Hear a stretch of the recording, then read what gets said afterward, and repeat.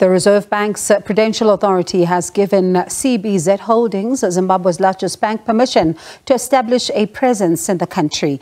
Reserve Bank Deputy Governor and CEO of Prudential Authority, Fundi Tshazibana, confirmed that authority has been given in line with the provisions of Section 30 of the Banks Act.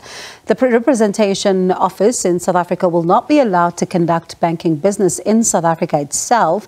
South African banking regulations allow a foreign bank's representative office to promote and assist the foreign bank's activities, but these banks may not accept de deposits, solicit deposits, or advertise deposits.